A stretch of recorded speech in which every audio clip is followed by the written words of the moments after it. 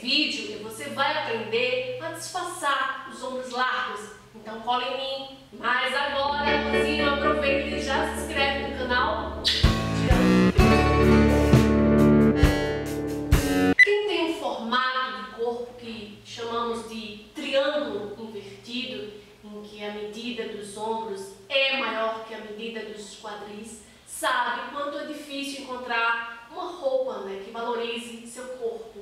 Para equilibrar essa silhueta, é preciso suavizar a parte de cima e criar volume na parte de baixo. A alça mais indicada para você é a mais larga, mas caso queira usar uma alcinha fina, equilibre com mais volume né, no quadril. Pode ser com calças volumosas, né, pantalonas, saias amplas, evasê, né, bolsos na altura do quadril, cores escuras na parte de cima e claras na parte de baixo. São indicados também a manga morcega tipo kimono e a raglan, né, decote em V ou em U.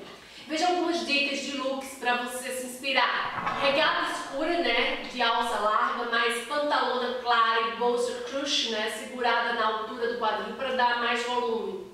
Outra opção é casar com blusa preta, né, calça clara com bolsa e a tiracolo, né, segurando na altura do quadril. A outra opção é um vestido com peito, né, com adicionado mais volume ao quadril.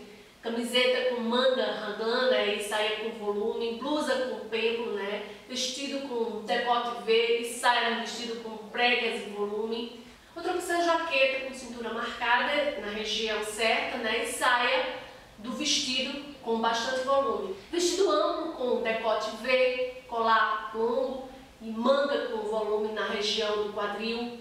Regata né, de alcinha escura, mas saia com estampa grande que adicione volume ao quadril. Decote V, mais vestido com uma saia ampla e bolsa colorida, né, transpassada na altura do quadril, fica perfeito.